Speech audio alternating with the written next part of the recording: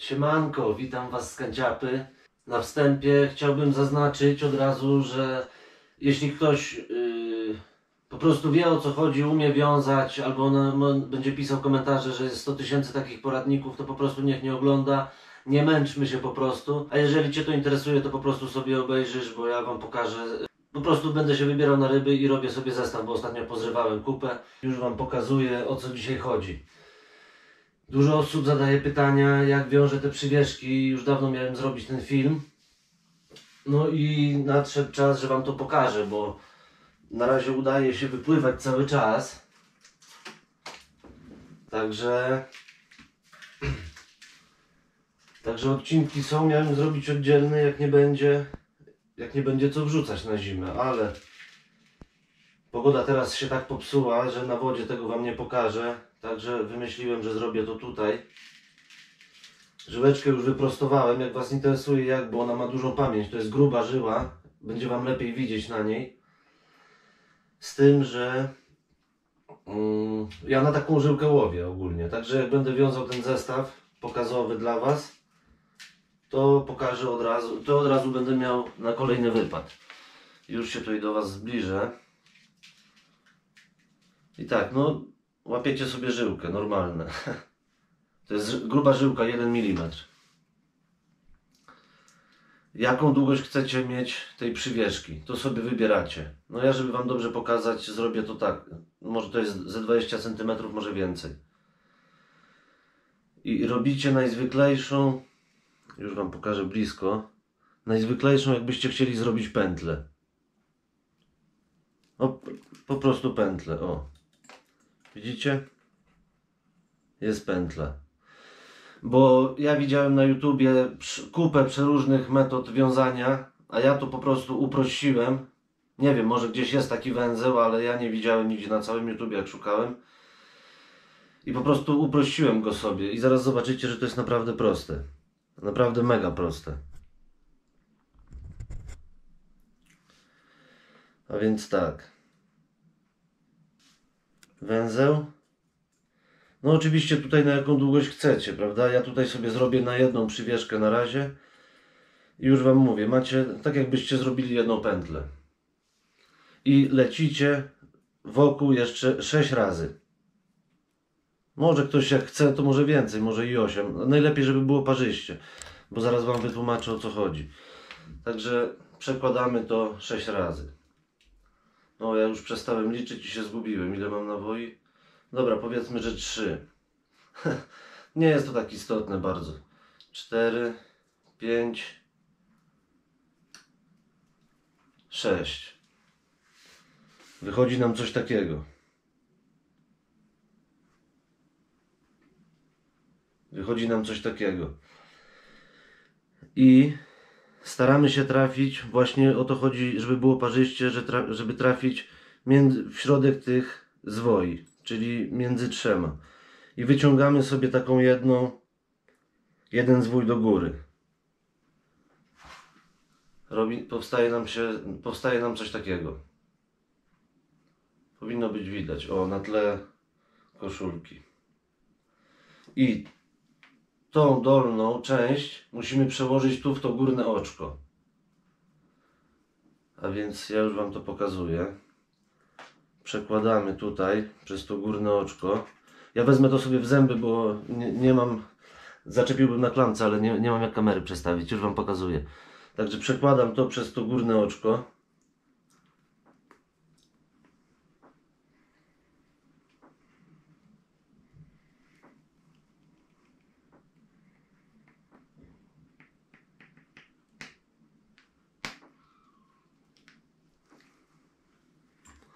Nie dociskam jeszcze do końca. Żeby Wam dokładnie to pokazać. Ma powstać coś takiego. Widzicie pętelka? I najlepiej to sobie poślinić. Żeby nie zgrać żyłki. I po prostu zaciskamy to.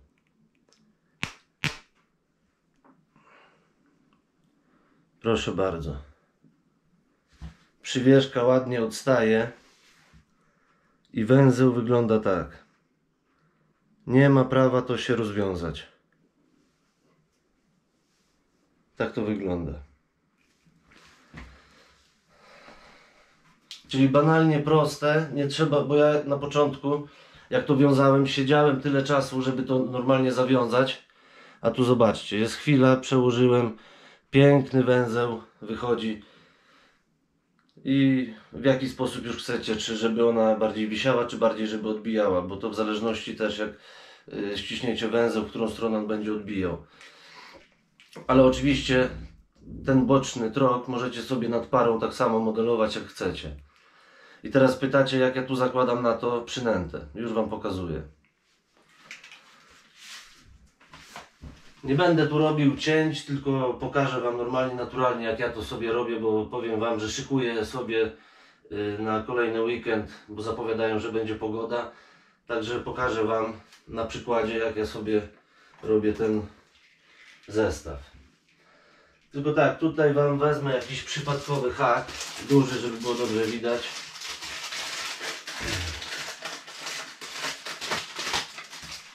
Już Wam to pokazuję.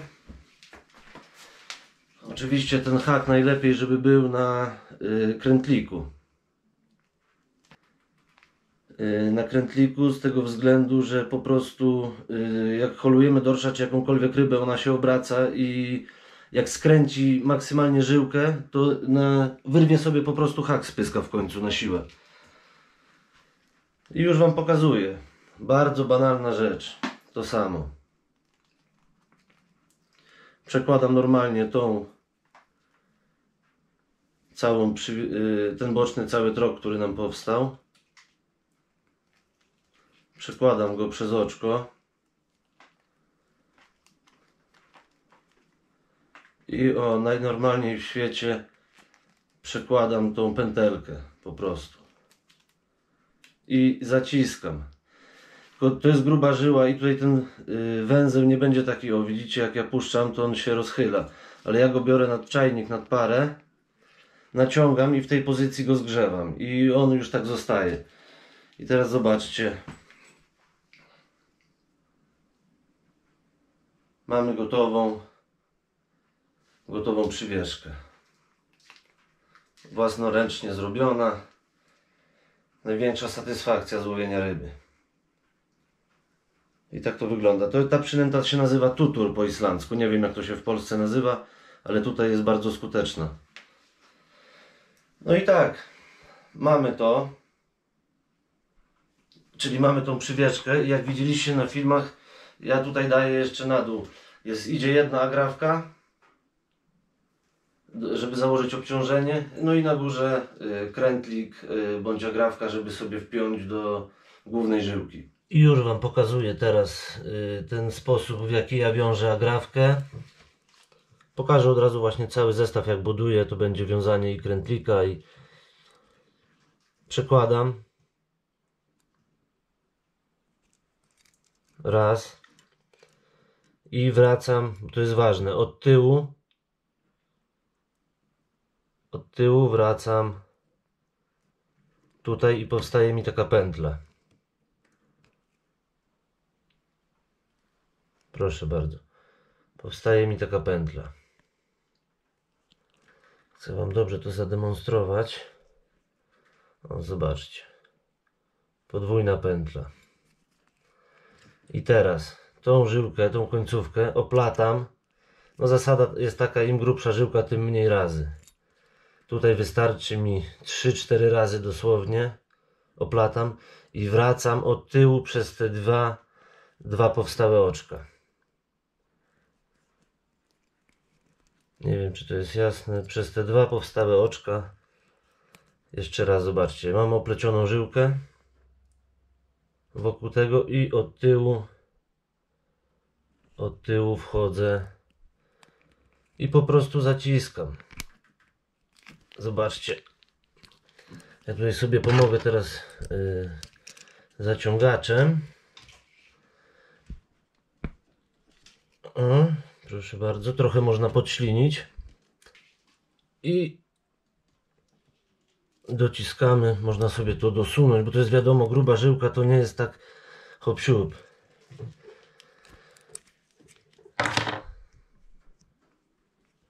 I po prostu mamy węzeł. Nie, nie jest nie do zerwania, naprawdę. Islamczycy tak wiążą, a ja w Polsce też tak wcześniej wiązałem, także to jest węzeł słynny na cały świat, chyba. No i tutaj, no i tutaj oczywiście idzie na górę krętlik. Bo na żyłce głównej mam zamontowaną agrafkę. Używam tych markatowskich. To nie jest żadna reklama, e, reklama, tylko po prostu takich używam. One są fajne, naprawdę mocne. Tylko tutaj muszę sobie to skrócić, bo potem na kajaku nie mogę sobie poradzić z tak długim zestawem. Także odcinamy i pokażę może z tego ujęcia jeszcze raz jak to robię. Przekładam, wracam od tyłu.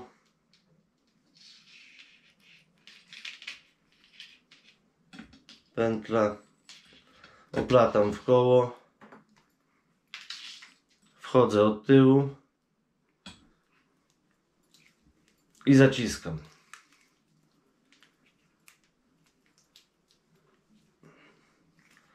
Proszę bardzo, to jest nie do rozwiązania węzeł. O tu coś się może nie docisnęło do końca, ale nie ma to jak zębami, a potem do dentysty. Dobra, jest dociśnięte. Elegancko. No i tak wygląda ten mój cały zestaw. Znaczy to nie jest jeszcze cały. U góry krętlik, przywieszka, którą niedawno zawiązaliśmy. No i zakończona agrafką. One są do 140 kg. No i dobra. I teraz Wam pokażę, bo jeszcze od tego, tutaj na dół idzie obciążenie. Przeważnie używam, już Wam pokazuję, takich łezek. One są na Islandii popularne. To jest 400 gram. Bo mam i większe, są i 600. 600. A na zawody to mam specjalne cięte na fabryce. Takie, gdzie zajmują się takimi rzeczami i taki Islandczyk mi wspawywał uchwyty. Zobaczcie. 900 gram. To jest dopiero obciążenie. I na takie się łowi. No ale dobra, wracamy do tematu. Już Wam pokazuję, jak wiążę ten do tego zestawu. A miałem pokazać, jak to wygląda, schowałem. Dobra. Już Wam pokazuję. Kurde, będę tak gadał, to znów długi odcinek wyjdzie. To wygląda. I tutaj od tego od tego krętlika daję jeszcze przypon około pół metra, może więcej niekiedy, no zależy jak mi się utnie, szczerze powiedziawszy. I wiążę, daję dwa haki. Jeden wbijam rybie za łeb, drugi za ogon. I to ten typ zbrojenia najlepiej się sprawdza. Już Wam pokażę jak wiążę te haki Dajemy ten i dajemy, musimy dać dwa haki. Haki nie wiem jaki to jest rozmiar, bo zobaczcie, puste pudełko, gdzieś mi wywiało tą kartkę, ale one mają, mierzyłem 10 cm. Haki 10 cm. I naprawdę są ostre i nie rdzewieją, co najważniejsze. No i dobra, pokażę Wam też, może to z drugiej kamery będzie lepiej widoczne. Mamy haczyk. Po prostu jak ktoś y, jest karpiarzem i wiąże sobie sam zestawy, to będzie wiedział od razu o co chodzi. Także bierzemy, przykładamy, wychodzimy z tyłu za kolanem haczyka. Tu sobie zostawiamy oczywiście, to bez różnicy, na długość haczyka po prostu. I tu też jest ważne, bo tutaj haczyk ma takie wcięcie żeby nie zaczynać oplatać po tym wcięciu, tylko od drugiej strony. Czyli lecimy dookoła. To jest węzeł bez węzła. lecimy. Oplatamy raz przy razie.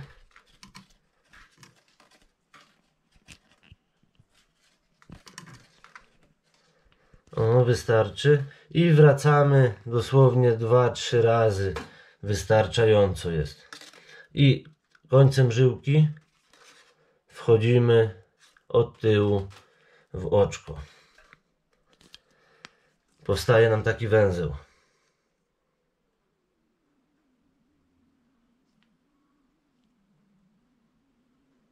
Taki węzeł. Oczywiście tutaj ten zbędny koniec sobie odcinamy. Możemy śmiało przy samym tym. Tu się, to się nigdy mi nie wyśliznęło. Przechodzimy do drugiego haka. Się rozgadałem. Przechodzimy do, do drugiego haka. Dobra, mamy ten haczyk zawiązany. Ja później sobie tutaj tu odetnę. Czyli na tym samym odcinku żyłki. Znowu. Tylko, że teraz wchodzimy. Wchodzimy z tej strony. Od tyłu. Wchodzimy od tyłu. Zaraz ktoś będzie pisał, że od tyłu to nie po Bożemu, bo za blisko krzyża. Dobra. I mniej więcej na jakiego chcemy trupa łowić, to sobie robimy taki dystans od siebie tych haków. No ja sobie zrobię na, wię- na większą rybę, bo już niedługo przypłyną na tarło klocki, zobaczycie zresztą. I znowu to samo. Jedziemy od tej strony, gdzie nie ma wcięcia.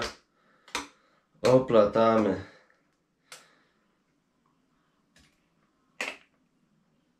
Oplatamy sobie parę razy.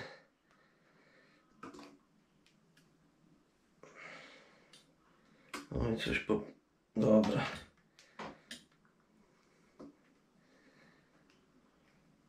Oplatamy i to samo. Wracamy 2-3 razy i znów wchodzimy od zachrystii. Proszę bardzo. I mamy uwiązane dwa haki na jednej żyłce. Niemożliwe do rozwiązania. I tutaj znowu działamy to samo. Tu już szybko, bo już widzieliście jak to się robi. Ktoś jak będzie ciekawy to sobie przewinie. A po prostu jak ktoś umie to robić, to jedynie może sobie przypomnieć wiązanie.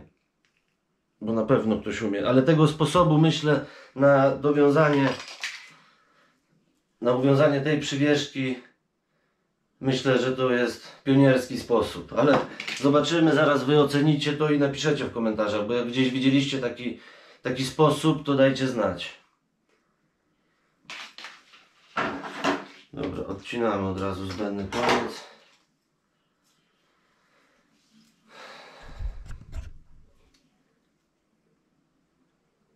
Agrawka to samo. I przypon. On ma, ile może mieć? Z 70 cm max. I już Wam pokazuję o co chodzi. Tutaj mamy ten zestaw, który wcześniej wiązaliśmy. Przywieszka jedna na górze. I tu przy obciążeniu głównym do krętlika do krętlika zaczepiam sobie po prostu ten przypon, który uwiązaliśmy przed chwilą. I teraz, żeby Wam to zobrazować, to wygląda w ten sposób. To wygląda w ten sposób. Nie wiem, czy tutaj widać podłogę, chyba widać. To stoi tak na dnie. Tu sobie to po prostu yy, prąd wody tym sobie sam potrząsa. Zresztą ja podrywam też wujem je na kajaku, a ta przywieszka sobie po prostu tutaj łowi wyżej trochę. No i taki jest mój paternoster. Drugi, ale co, pokażę Wam co jeśli, bo w tej przywieszce, co zawiązaliśmy przed chwilą w całym zestawie, jest grube oczko y, w krętliku. Ale co jeśli przynęta jest y, mała i ma małe oczko przy haku? Nic prostszego, taką samą przywieszkę. Po prostu obcinacie tutaj jeden z końcy. odcinacie. Tu można sobie oczywiście te końce węzłów wszystkie pozgrzewać trochę zapalniczką, ale tu się nigdy nic nigdy w życiu nie wyśliznęło. I wychodzi na pojedynczej żyłce. I wtedy bez problemu sobie można mniejsze przynęty tutaj wiązać, już jak pasuje. Także taki jeszcze dodatek. Zestaw jeden mam gotowy, pokazałem Wam od razu o co chodzi. Yy, Prosiliście mnie o to zresztą, także macie. Jak ktoś będzie chciał dokładnie to zobaczyć, jak może nie dokładnie pokazałem, to sobie przewinie dwa razy, trzy obejrzy i na pewno obczai bazę. Także nagadałem się, no i chyba będziemy kończyli.